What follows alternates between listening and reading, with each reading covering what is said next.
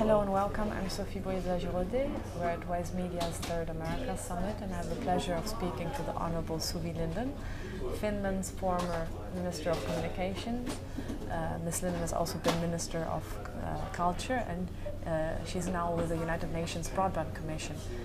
Um, I'd be interested in hearing how the deployment of broadband is supporting fight against crime uh, today.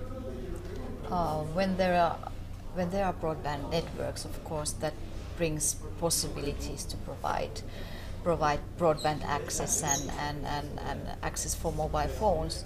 And there are a lot of evidence how what can be done fighting against crime using the, the technology and mobile phones.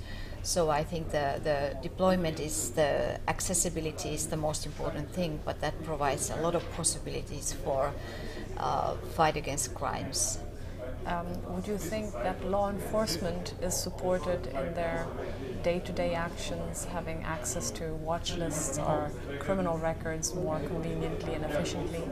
Of course, when just a simple example, when police stop a car and check the, the driving license, and nowadays you can have all kind of technologies, you can get the instant access to, to database to see whether this car is stolen or this driver is the, is, is a criminal person. So this way, I think that uh, it brings a lot of possibilities to to, to prevent crimes and, and solve them. And um, what about urban security uh, the sense of trying to keep uh, urban violence under control?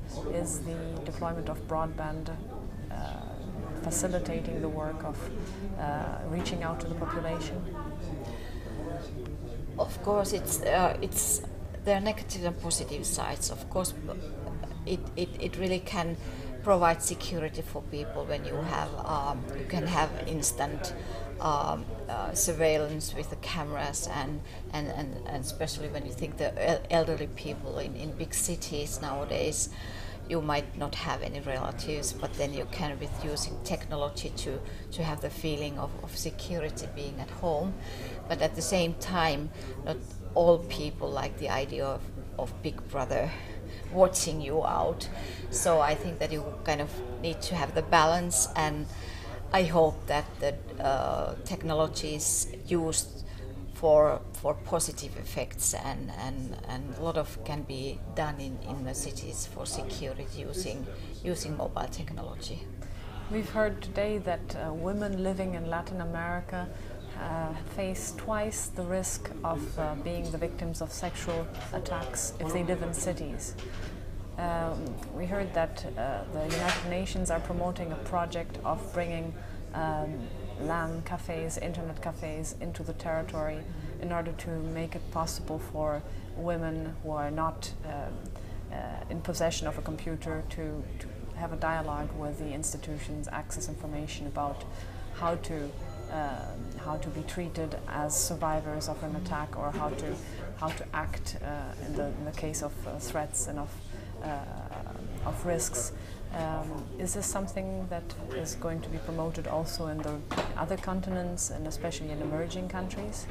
I think this this study case, what has been done here in, in Brazil, has been very very good out, outcome of it. And, and for sure when there are best practices they want to be taken in use other countries also. And I think that um, crimes against women are, are, are in developing countries especially a big uh, challenge. But the, the mobile phones and mobile technology provides possibilities to get help but also uh, to prevent the, the, these kind of things happening.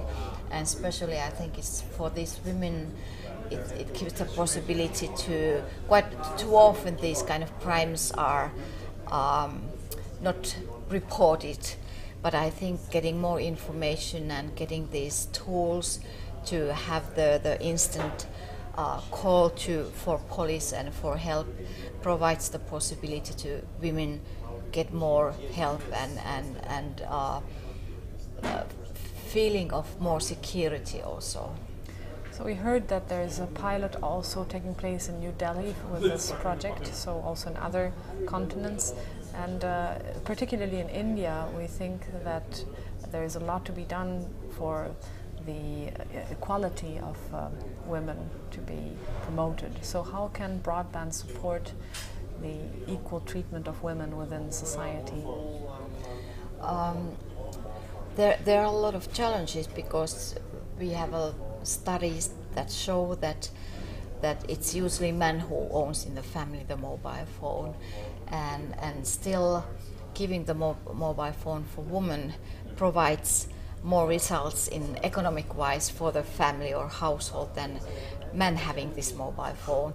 So I think that uh, sooner or later it will happen so that also women have access to, to mobile phones and, and that provides better better possibilities for them to take care of the, the, the families, provide provide uh, income income for the family.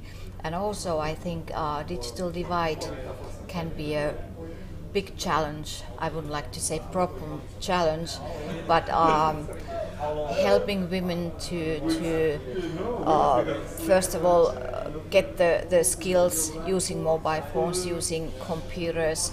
That's something that community should be involved with. Um, and and then I think that when women are empowered empowered, then um, at the end it provides a lot of good for, for the society.